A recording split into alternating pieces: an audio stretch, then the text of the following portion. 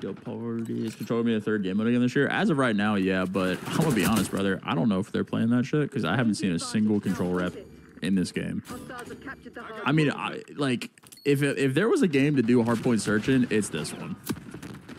Because I hate the fact that we've just been forcing control and like forcing a third game mode for the sake of having a third game mode. Because I do enjoy having a third game mode. I think it's a good momentum swing, and it's important to be good at more than one or more than two game modes for sure.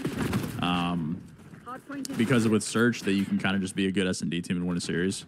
But I think in this game, hardpoint could actually work. But I don't know. I, I I'm I haven't even I don't even know where the points are in control this year. Like I that that's how little I know about that game mode right now. No fucking clue.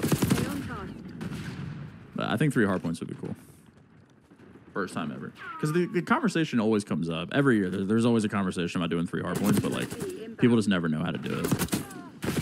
Because you're going to have teams that want to do three S&Ds, and you're going to have teams that want to do three hard points, and it's like they do a vote, people get butthurt. There's just, there's so much about it.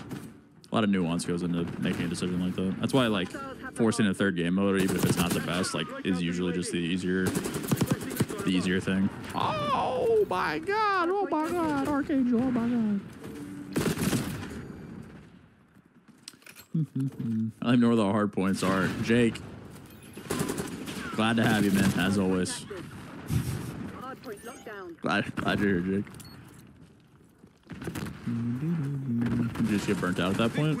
Eh, it depends. I mean, it's very easy to not get burnt out if they're making map pool changes all like all season. Like last year, I think they did a phenomenal job with the map pool. Like it was really bad to start. Sledgehammer made the, the best original maps we've had in the CDL era. Um, I think they did like a, a very very good job last year with keeping things light and not getting burned out. But I don't know if that's going to happen again or you know, there's a lot of. I hope that wasn't just like a one-off thing.